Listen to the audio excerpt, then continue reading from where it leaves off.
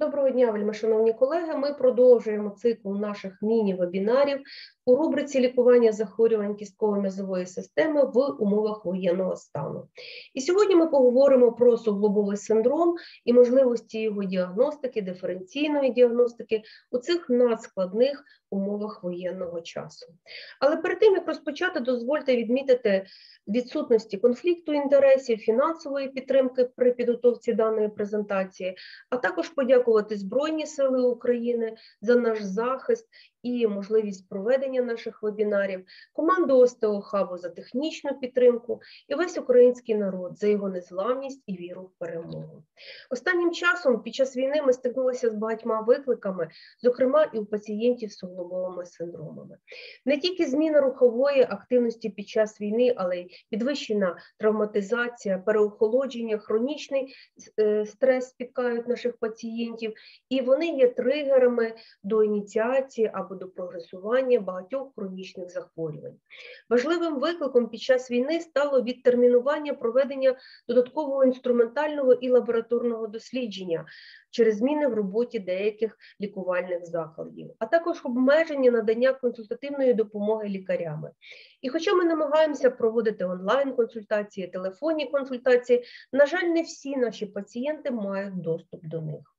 Під час воєнного стану важливими викликами стало відтермінування надання невідкладної медичної допомоги за її необхідності, наприклад, у пацієнтів з септичними артритами, через обмежений доступ у деяких регіонах до роботи лікувальних закладів. І, звичайно, у зв'язку з відтермінуванням лікування захворювань, з яким пов'язані суглобові синдроми під час воєнного стану, і в зв'язку з хронічним стресом ми все більше і більше стикаємося з хронізацією болі, більш швидким прогресуванням захворювань, які пов'язані з суглобовим синдромом, і більш тяжким їхнім перебігом. І, на жаль, це буде тільки зростати. Давайте розглянемо три клінічні ситуації і постараємося проаналізувати, що їх об'єднує.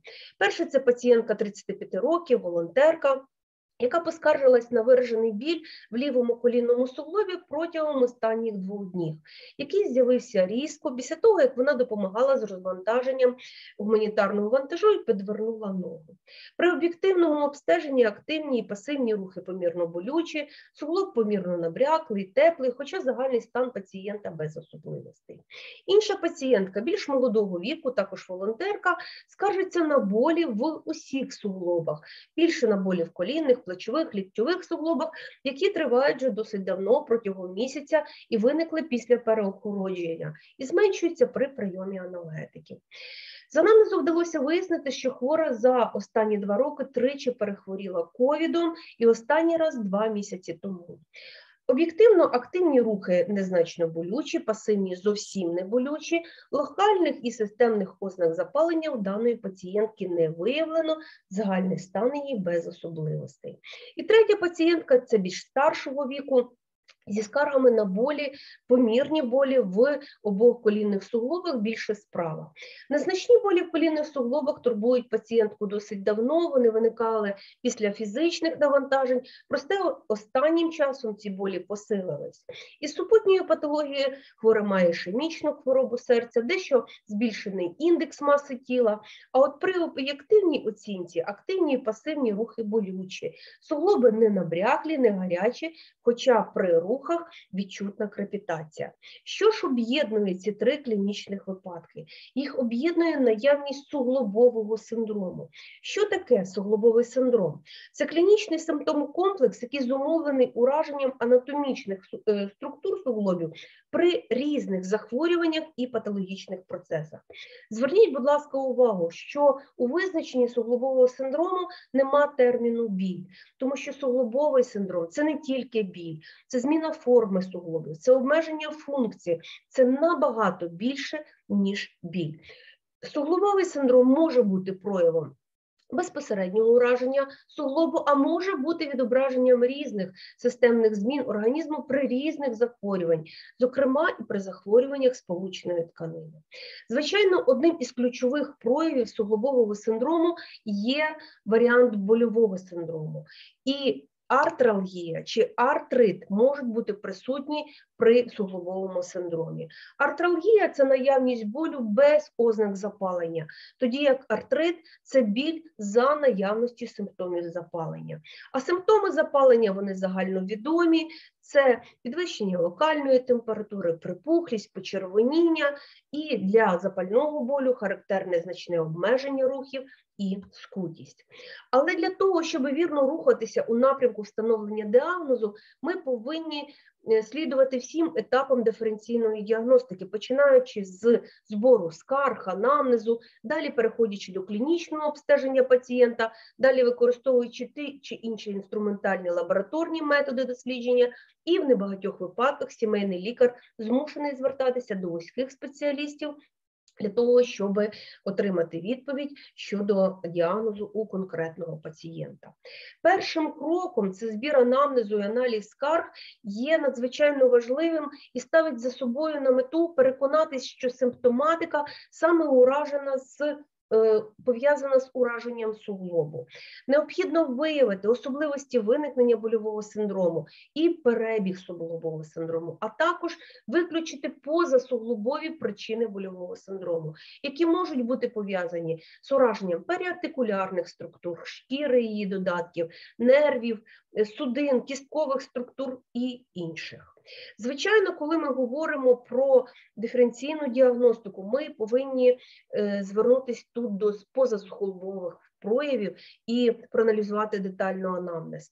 Тому що прийом антикоагулянтів дозволять нам запідозрити гемартроз. Травма, фізичне перенавантаження дозволять запідозрити перелом. Наявність шкірних висипів і зміни нігтів можуть нас заставити подумати про наявність псоріатичного артриту, тоді, коли запальний біль в спині свідчить про наявність анкілозуючого спондиліту. Якщо пацієнт тривало приймає глюкокортикоїди, ми можемо запідозрити асептичний некроз, а перенесена інфекція може свідчити про наявність септичного, інфекційного реактивного артриту. Наявність у пацієнта тофусів може свідчити про наявність подагричного артриту, а ревматоїдних вузликів про наявність ревматоїдного артриту. Пацієнт з кон'юктивітом, уретритом може мати і реактивний артрит, тоді, коли вузликова еретема може свідчити про наявність саркоїдозу. А наявність іритоіридоцикліту про серонегативні спондилоартрити, так само як виразки порожнини рота, можуть свідчити про наявність неспецифічного виразкового коліту. Тому позасуглобові прояви, в тому числі при об'єктивному статусі встановленні і при детальному е, аналізі анамнезу, є надзвичайно важливими для правильного встановлення діагнозу. Але основою для майбутнього діагнозу будуть 10 пунктів, які наведені на цьому слайді. Це тип больового синдрому, періартикулярний, суглобовий, відображений, це тип уражених щелинувань, кількість уражених суглобів і клінічний перебіг самого захворювання, як і гострота виникнення болю. Це симетричність процесу і локалізація уражених суглобів. Це залучення ентезів, а також інші супутні позасуглобові прояви, це зміни шкіри, лихоманка, системні прояви. І останніми є деформації, характерні для тих чи інших захворювань. Звичайно, вони не є ранніми проявами захворювання і зазвичай свідчать про запущеність е, того чи іншого захворювання. Другим надзвичайно важливим кроком в діагностичному пошуку є клінічне обстеження пацієнта, Е, метою якого є виявлення ознак та симптомів, що далі допоможуть сформулювати попередній діагноз. І якщо найбільш частим і значущим суб'єктивним проявом суглобового синдрому є саме больові відчуття у суглобі, і в меншій мірі це скутість, це обмеження рухів, то надзвичайно важливо для лікаря оцінити і інші прояви суглобового синдрому, а це прояви запалення, це почервоніння шкіри, припухлість суглоби, деафігурація, його деформація, порушення функції і обмеження рухів. Ми говоримо про різні види артритів, моно, оліго і поліартрит залежно від кількості залучених суглобів. І при залученні одного суглобу ми говоримо про моноартрит, при залученні двох-трьох суглобів про олігоартрит, і при залученні чотирьох і більше суглобів ми говоримо про поліартрит. Надзвичайно важливо оцінити тип ураження і тип больового синдрому у пацієнта, який може бути періартикулярним, суглобовим і відображеним. І якщо при періартикулярному ураженні будуть болючими тільки певні рухи, і в більшій мірі болючими будуть активні рухи, в меншій мірі пасивні рухи, то при суглобовому ураженні усі рухи в суглобах будуть болючі. І одинаково болючими будуть як активні, так і пасивні рухи. Тоді як при відображеному болі рух не буде пов'язаний з посиленням больового синдрому. Також слід відзначити, що при періартикулярному болю е, локальна болючість в тій чи іншій ділянці може свідчити про залучення тих чи інших періартикулярних структур. Тоді як при суглобовому характеру болю болючість буде над лінією суглобу з обмеженням активних і пасивних рухів. Важливо відзначити, що захворювання, які супроводжують суглобовий синдром, можуть бути як запальним ураженням суглобів, так і позанезапальним. І вони кардинально відрізняються. До захворювань із запальним ем, залученням суглобів відносять різні види інфекційних артритів, кристалічних артритів, артритів аутоімунної етіології, це ревматоїдний артрит, системний червоний вовчак, це реактивні артрити. Тоді як Е, проявами незапального ураження суглобів є травматичні артрити, це є дегенеративні захворювання суглобів, це є гіперпластичні процеси, а також онкологічні процеси. Важливими критеріями, які дозволяють диференціювати запальний і незапальний біль, є ранкова скутість і сам характер больового синдрому. Якщо ранкова скутість триває більше години, і вона провокується тривалим відпочинком, тому ми повинні думати про запальний характер болю. Тоді, коли ранкова скутість, яка триває хвилини до 15-20 хвилин, часто пов'язана саме з незапальним характером болю. Точно так само відрізняється і характер больового синдрому. Якщо біль зменшується після рухової активності, і прийому протизапальних препаратів, тоді це говорить про те, що біль може мати запальний характер. Якщо ж біль посилюються при тривалому фізичному навантаженні, ми в більшій мірі повинні задуматися про незапальні захворювання і больовий синдром. Якщо ми говоримо далі про інші ознаки, то серед інших ознак запальних захворювань є збільшення острофазових показників, а також гіпертермія і біль при активних рухах. Важливим у встановленні діагнозі є характеристики гостроти виникнення больового синдрому від декількох хвилин до декількох місяців, тому що е, якщо больовий синдром супроводжується його розвитком протягом декількох хвилин, ми повинні запідозрити переломи, гемартрози або внутрішньосуглобове, або позасуглобове пошкодження, як розриви зв'язок, менісків. Якщо біль триває декілька годин або один-два дні, ми повинні запідозрити септичний артрит, дрібнокристалічний артрит, паліндромний ревматизм. Тоді, коли якщо біль розвивається протягом тривалого часу, а це тиждень, можливо, місяць, ми повинні думати про остеоартрит, ревматоїдний артрит, спондилоартрит і інші захворювання. Важливим є розмежування суглобового синдрому між гострим і хронічним. І гостре запалення суглобів триває менше 12 тижнів і свідчить про повний зворотний розвиток симптомів. Тоді як хронічне захворювання характеризується прогресуючим артритом, і різні захворювання мають переважно той чи інший перебіг. Якщо для гострого е, запалення суглобів це характерно для інфекційних артритів, для подагри, реактивних артритів, то хронічний перебіг він більш характерний для остеоартриту, ревматоїдного артриту і інших захворювань. Важливим є залучення тих чи інших суглобів для того, щоб подумати про те чи інше захворювання. Наприклад, якщо наш пацієнт має гострий моноартрит першого плюс нефалангового суглобу, ми повинні виключити подагру. А якщо це артрит крижово-здупинного суглобу, ми повинні подумати про анкілозуючий спондилоартрит або інші серонегативні спондилоартрити. Якщо пацієнт має хронічний моноартрит колінного суглобу, ми повинні задуматися про туберкульозне ураження у такого пацієнта.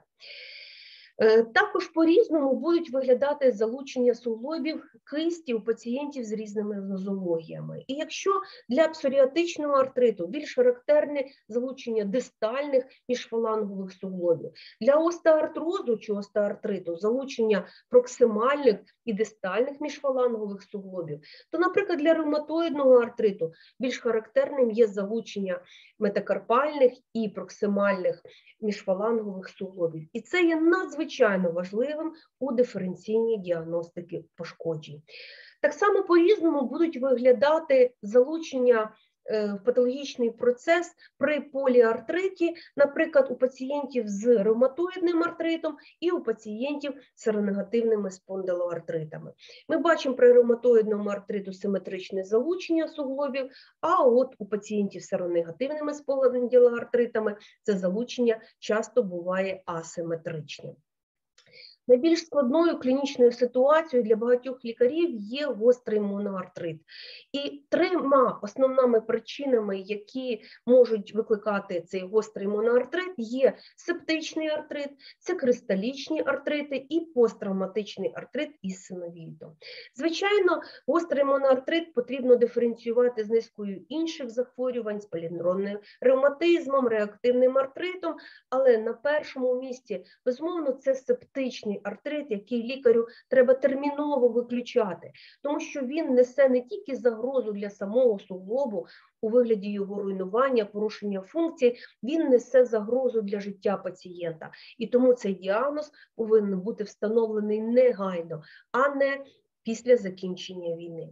Якщо ми говоримо про хронічні моно або олігоартрити, то якщо пацієнт старшого віку, в першу чергу ми думаємо про остеоартрит. Якщо пацієнт більш молодого віку, ми часто думаємо про серонегативні спондилоартрити, інфекційні захворювання, а також про дебюти ревматоїдного артриту. Якщо у нас на прийомі пацієнт з хронічними симетричними чи несиметричними поліартритами, то ми повинні розуміти, що подібна характеристика характерна для багатьох ревматологічних захворювань, особливо захворювань сполучної тканини, ревматоїдний артрит, системний червоний вовчак, змішане захворювання сполучної тканини. І тут сімейному лікарю потрібна консультація вузького спеціаліста, ревматолога, який дозволить розібратися з етіологією оцих хронічних поліартритів, вчасно встановити діагноз і призначити лікування. Я хотіла би звернути вашу увагу на недавно опублікований алгоритм експертів, який запропонував алгоритм для лікарів первинної ланки у диференційній діагностиці больових синдромів. Якщо ми говоримо про кульшовий суглоб, звичайно важливе значення тут має вік пацієнта.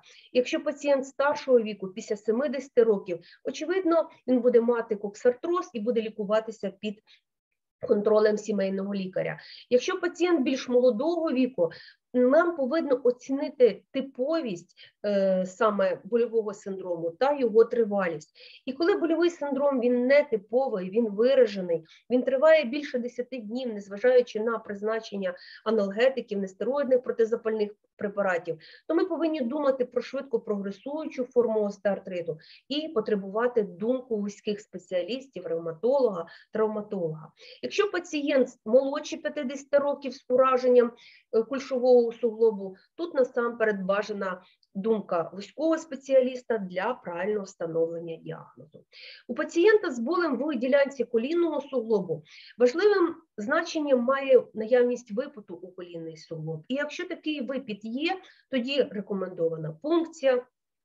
Видалення рідини, оцінка вмісту динамічним спостереженням, і якщо е, цей пацієнт добре піддається лікування нестероїдними протизапальними препаратами, то е, можливо і не потребує консультації вузького спеціаліста. Але якщо пацієнт має нетиповий біль і нетипову тривалість болю, тоді потрібна думка експерта і лікування під контролем сімейного лікаря не дасть хороших результатів.